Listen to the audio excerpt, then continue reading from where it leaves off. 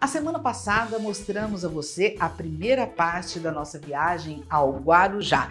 O vídeo está lá no nosso canal do YouTube, arroba Maluvisita, se você ainda não viu ou se você quiser relembrar. Hoje vamos mostrar para você mais um pouco do Guarujá. Fomos até o restaurante número 1 um do Trip Advisor para conhecer. Acompanhe!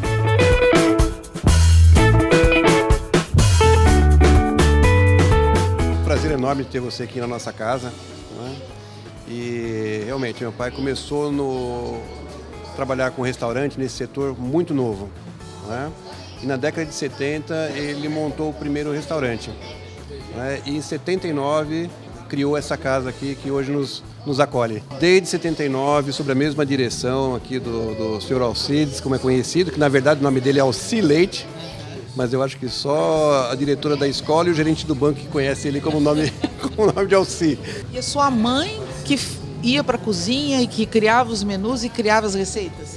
Pois é, né? Dizem que toda falando de restaurante, né, diz que toda panela tem sua tampa, né? E ali foi realmente um casamento da panela e a tampa, porque enquanto o meu pai ele cuidava da parte de, de relações públicas com os clientes, o atendimento, a minha mãe cuidava realmente da cozinha né, cuidava do paladar, né, do, do, dos, dos, sabores dos pratos. Né? Tanto um quanto o outro cozinham muito bem. Mas aqui dentro do restaurante, no, no, momento do atendimento, no momento que chegavam os clientes, meu pai cuidava do, de receber, os, bem receber os clientes e minha mãe cuidava dos pratos que eram servidos. E hoje está você e sua irmã? É, hoje né, nós estamos aqui fazendo a parte burocrática né, do restaurante, da, administrativamente falando, e, mas sempre sobre, sobre, os olhos atentos do seu Alcides, que ainda é muito presente aqui com a gente.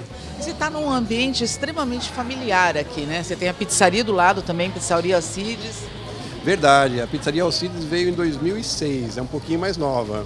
E veio por uma necessidade de, quando nós fizemos uma grande reforma aqui no, no restaurante, né, a pizzaria veio para viabilizar né, a reforma do restaurante aqui né, que enquanto ficou fechado aqui durante seis a oito meses aproximadamente, o restaurante ficou com atendimento dentro da pizzaria. E aí quando reabriu, quando veio da reforma, assumiu de novo as instalações e aí ficou a pizzaria. As duas casas, uma do lado da outra aqui. E atende um público jovem a pizzaria? Olha, um público jovem, um público é, muito fiel. Né? Tem, é um restaurante muito familiar, né? muito frequentado pelas famílias. A gente tem três gerações, pelo menos, frequentando a casa. Não é? é onde era o pai, hoje o, hoje o pai já é, já é avô e vem com os netos. Então você vê três gerações, às vezes, sentadas numa mesma mesa aqui dentro da nossa casa. Vamos falar um pouquinho do menu. O que, que é o forte aqui? É, são frutos do mar? Nós temos um cardápio bem diversificado aqui na casa, né? Então é, é tem carnes, massas, é, mas para todos os gostos, né? A gente tenta ter um cardápio bem variado para atender todos os gostos.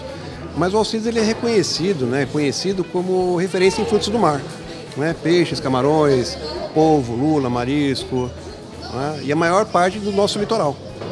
E vocês receberam um prêmio do TripAdvisor essa semana, né? Recebemos, né? Recentemente é o prêmio Travel Choice do TripAdvisor, que é um prêmio que onde os viajantes vão classificando os restaurantes no decorrer das suas viagens. Né? E, e segundo esse prêmio da Travel Choice, coloca a gente entre 10% dos melhores restaurantes do mundo. É? E assim, é um reconhecimento do cliente pelo serviço, pelo que é servido ao cliente, pelo que é a forma de ser recebido na nossa casa, que a gente trata cada cliente como uma pessoa sendo muito importante para a gente e é realmente né? O cliente é o nosso objetivo. A gente está aqui para que as pessoas tenham momentos muito felizes aqui dentro da nossa casa. Mas novidades aqui não param. Agora você tem o um empório que a pessoa que vem aqui, que gosta do vinho, pode levar o vinho para casa também. Exatamente, né? Essa é uma nova proposta aqui do restaurante. Né? Nós estamos aqui criando, criamos né, o, o empório de vinhos, que eu sou apaixonado por vinho. Tenho muito que aprender de vinhos ainda, né? mas é, é, um trabalho que a gente vem desenvolvendo já há muito tempo e achamos agora de criar o, o empório, né? que é onde o cliente pode é, levar o vinho para casa, o mesmo vinho que ele tomou e gostou, ele pode levar para casa numa condição bem diferenciada em, em termos de custo. E o teu público é São Paulo, interior? É, o Alcides com seus 42 anos de vida, aí mais ou menos, né? Já é conhecido já bastante por esse mundo afora, né? É, mas o público que mais frequenta, né, até pela proximidade, é o, é o, público da São Paulo e Grande São Paulo, né, da região, do entorno, né, dos 100 quilômetros. Né? Mas muita gente nos procura porque às vezes é, amigo teve, e, e, o boca a boca e recomenda é, o colega que está vindo para o Guarujá, ah, você vai no Guarujá, não deixa de ir no Alcides. É, isso é muito satisfatório para a gente, né? Uma satisfação muito grande. Ó, deixa aqui meu abraço para teu pai, para tua mãe, tá? E muito obrigada por nos receber aqui. Obrigado a você, Malu. É um enorme prazer recebê-los aqui na nossa casa, tá? E espero que desfrutem e fiquem muito, fiquem muito felizes aqui na nossa casa.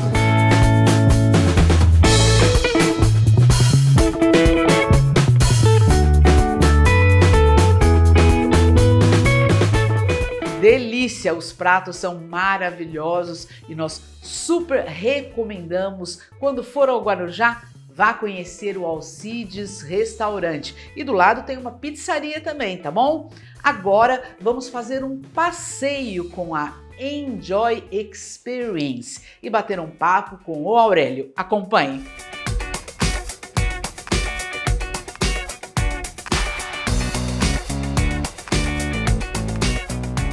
Você quiser conhecer Guarujá de verdade, conhecer história, cultura, todos os lados e todas as praias, tem aqui a Enjoy Experiência. Estou aqui do lado do Aurélio. Aurélio, você faz um receptivo e mostra tudo que tem de melhor no Guarujá, né? Pois é, Malu. É, primeiramente, obrigado né, por proporcionar essa oportunidade de divulgar o destino. Nós somos um operador é, de receptivo somos o único operador especializado no destino São Paulo. Nós não vendemos outro destino a não ser São Paulo. Então nós temos escritório aqui no Guarujá, em São Paulo e no interior de São Paulo também em Sorocaba.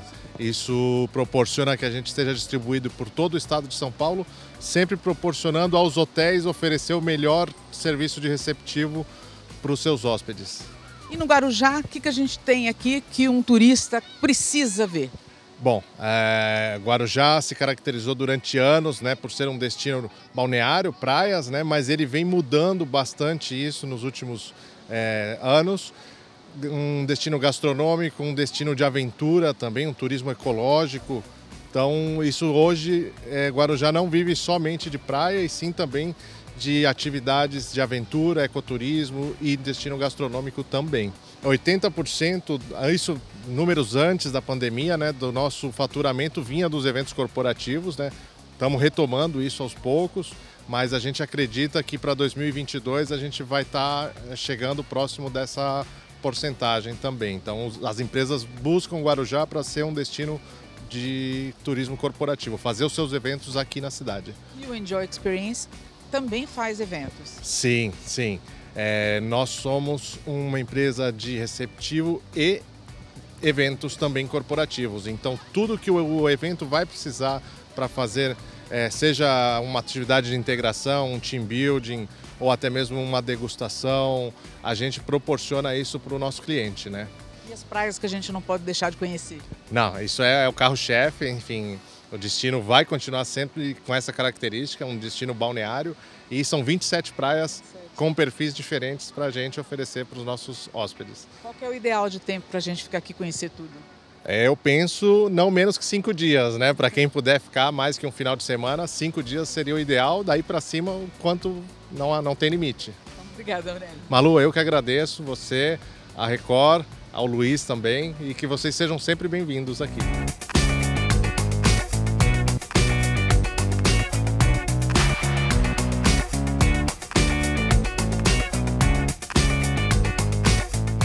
Aí, gostou do nosso passeio ao Guarujá? Quer revê-lo? Vá até o nosso canal do YouTube, lá também está a primeira parte do nosso passeio e outros passeios e muitas receitas para você acompanhar.